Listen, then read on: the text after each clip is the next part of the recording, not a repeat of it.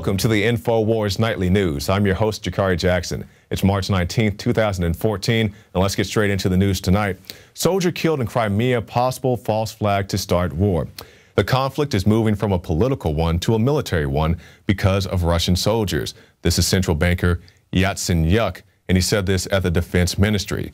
Today, Russian soldiers began shooting at Ukrainian servicemen, and this war crime is, is without any expiry under the statute of limitations. But on the other side of the ranch, there was a report from the BBC website, and it said that the men were unidentified and the commander was taken into custody by Russian soldiers. And eyewitnesses told the BBC that armed men arrived in two unmarked vehicles, storming the base and firing automatic weapons. So you have to be careful where you get your sources. You know, the information does conflict uh, oftentimes. Uh, in the mainstream media. So don't believe the hype all the time, but definitely keep an eye on stories like this.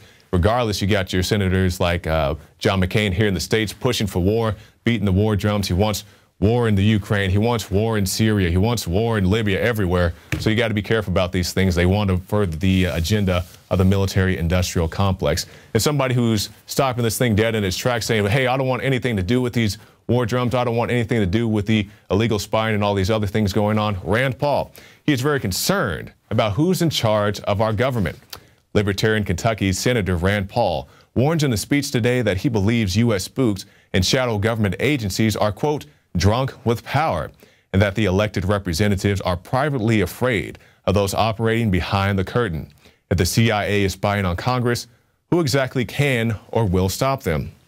And that's a very good question because we allowed the CIA to run wild for years. Even Jesse Ventura has talked about this, how the CIA is operating domestically and they're not supposed to. So we have the CIA spying on Congress. Even Mrs. Feinstein, the senator, the gun grabbing senator, said, Hey, I don't want the CIA spying on me. Of course, she thought it was okay when the NSA spied on you and me. But when the CIA looks at her, she said, Hey, I, I don't want anything to do with that. So to you powers that be, definitely uh, realize that if I don't have my rights, you don't have your rights either. So I know it hates you. You, you hate it and you don't want anything to do with it. But if you want to have your rights, I have to have mine too. You have to fight for me too as well. And somebody that we need to fight for, people who are victims of police brutality. We have this video. Kid screams in agony as cop snaps his arm. Now I want to caution all of our viewers, this video is very graphic. it, it is very intense. So be aware of that as we go to this clip.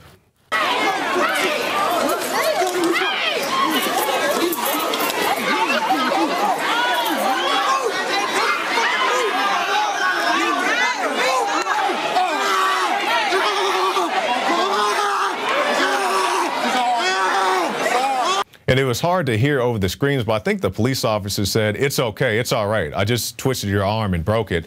And, you know, but but that's okay. And this is the kind of tyranny that we talk about. Eh, you know, everybody will ask, you know, what's this tyranny, this imagined tyranny that you guys keep talking about? Well, you know, situations such as this, such as here in the city of Austin, Texas, where the police can show up to an innocent man's house, shoot his dog, and walk off. Oops, I'm sorry. Or right outside the city of Austin, they can tase a kid, drop him down to the ground, bust his head open, and now the kid has brain damage. Or uh, as we saw on the Alex Jones radio show today, they said you can't have custody of your child because you have something in your house that somebody may want to break in and steal. So now you're responsible because somebody may break into your house for your big screen TV or whatever else that you have inside your house. Now you can't have your child. That's tyranny. It's not imagined. It is very much real. And this is why we have to stay sober and vigilant. Do not relinquish your weapons. Psychologist to line Boston Marathon route. This is an article by Adan Salazar. The unprecedented effort is being taken in attempts to accommodate spectators or racers who may be feeling a little more on edge, a little more tearful perhaps, or a little more irritable and less patient, a psychologist tells CBS Boston. You know, the people who are probably feeling a little more edge and uh, you know, a little uncomfortable with their surroundings. How about the people in Watertown where the authorities went house to house, forcing people out at gunpoint to uh, check their residences. I bet those people are a little bit more on edge these days, wondering when and if this thing could happen again, just as we saw in Hurricane Katrina. Though that never happened before. Hurricane Katrina, door to door confiscations, running up, putting guns in people's faces. Sir, can I please search your house? And like, well, he voluntarily complied to walk outside his house, even though I put a gun in his face. That's the new America. They'll put, come put a gun in your. Face. I experienced it. Guy didn't put a gun in my face, but he comes up to my apartment. Sir, get inside your apartment. I was like, I, I can't be any more inside my apartment than what I am right now. Guy comes, slams my door. They love to run around with a black ski mask and all that. that's the new America. So unfortunately, this is the way things have turned out to be. But hopefully, you know, we get enough people, uh, law enforcement and military, we can turn this thing around so we won't have to worry about things like this in the future. But, you know, for right now, they are going on because we have the ATF. The federal judge blasts the ATF for their stings. You know, this is when the ATF isn't running guns into Mexico or raiding Ares armor. You can see that story on prisonplanet.tv on the Alex Jones radio show. A federal judge in Los Angeles blasted the ATF for sting operations that he said unfairly enlist people in made up crimes by offering them a huge payday for robbing non existent drug stashes. So basically, this is an outrageous and unconstitutional thing, and the judge ended up throwing out the charges against a man arrested by the ATF over one such thing. And this is when the ATF isn't busy losing their weapons. And I'm not talking about the guns that walked into Mexico during Operation Fast and Furious. I think it's since 2009, the ATF agents have lost about 50 of their personal defense weapons, you know, leaving them in bathrooms or at the park or wherever else in the at the gym. Just complete silliness. They can't keep track of their own firearms but then they want to come and tell you that you can't have a firearm. I found out today by watching the Ares Armor interview that if you have a shoestring, and I just found this out today, if you have a shoestring that's what 14 inches long, that's considered to be a firearm or at least a firearm component by the ATF. Complete lunacy, but they want to come kick in your door and take you to jail and take away your uh, take away your property that you have every right to have. It's complete lunacy. Another thing that's complete lunacy: the attack on women. You know, we have the InfoWars magazine, this current month's issue. That's the attack on men, but Alex Jones and Paul Joseph Watson had the attack on women. And there are 10 examples here, but the one that hit me most is number five. And this is feminists ignore plight of Muslim women. Now, I'm not pushing for uh, Muslim measures, but I think it's very uh, intriguing that nobody seems to care about these ladies who are having very real tyranny thrust upon them. Why they're while there are innumerable examples of women being persecuted in the Muslim world, from their characterization as terrorists simply for driving in Saudi Arabia, to genital mutilation in African countries, to stoning in places like Afghanistan. Establishment feminists are too busy pursuing inane and offbeat causes such as Wikipedia being too masculine in order to focus on actual examples of oppression. And this is exactly right. They're busy trying to ban words such as bossy, and uh, just silliness altogether. But meanwhile, you have real attacks, physical attacks on women, and nobody seems to care about this because I guess it's not trendy. It's not the the Twitter following of the week to actually do some real work for women. And you know, meanwhile, they're running around. Maybe not these ladies, but you have the feminist free bleed movement. I'm not exactly sure what that's about, but I can just say I wouldn't like to see a bunch of guys running around free ejaculating. And we'll end tonight with this this segment.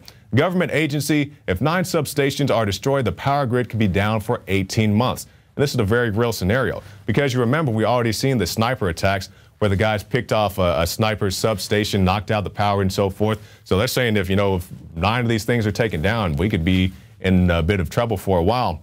According to the Federal Energy Regulatory Commission's latest report, all it would take to plunge the entire nation into darkness for more than a year would be to knock out the transformer manufacturer in just nine of our 55,000 electrical substations on a really hot summer day.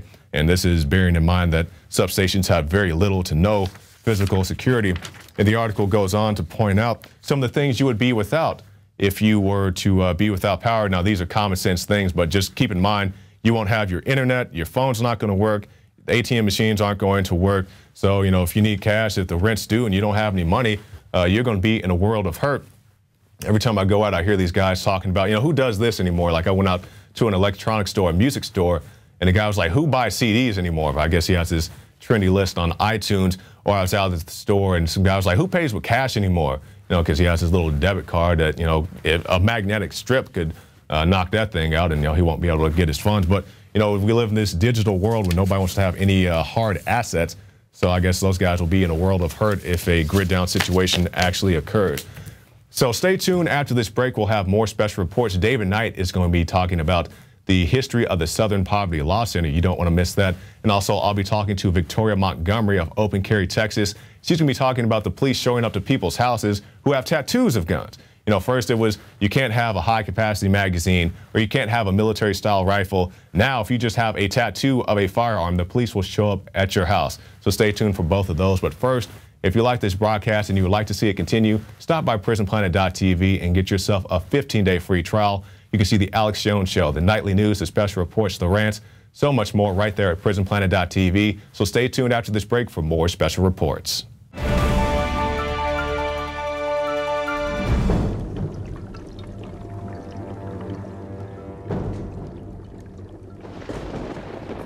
My friends, we have done it. With Dr. Group's help, we have developed the ultimate male vitality supplement with eight concentrated super herbs.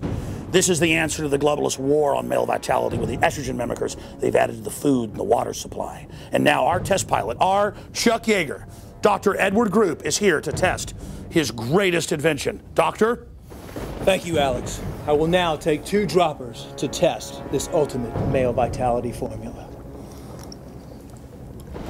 Ladies and gentlemen, this is a momentous moment. Thank you, Dr. Group. I will activate my muscles by doing push-ups. Ladies and gentlemen, this is it. This is the move. This is unprecedented. Ladies and gentlemen, we're going to see what happens right now. Oh my God! What the hell? Wait, wait, wait, wait! Get out of here! Shut this down. This is not safe. This is not. Hold on. Settle down. Get, get another doctor. Something's wrong. Something's wrong with him. Help him. Uh, ladies and gentlemen, we did not intend for that to happen. I take it personally. Do not have those problems.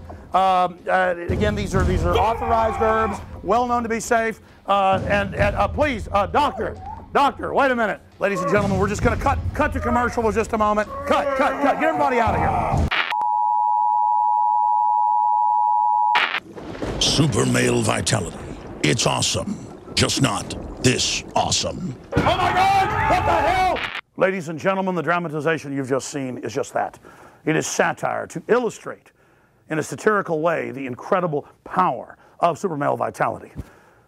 It will not turn you into Conan the Barbarian, but it will help block some of the estrogen mimickers and reportedly let your glands produce the natural hormones your body needs.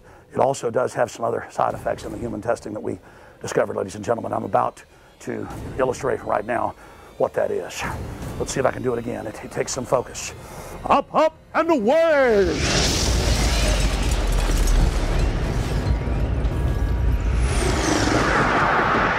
Start your journey to super male vitality today at InfoWarsLife.com.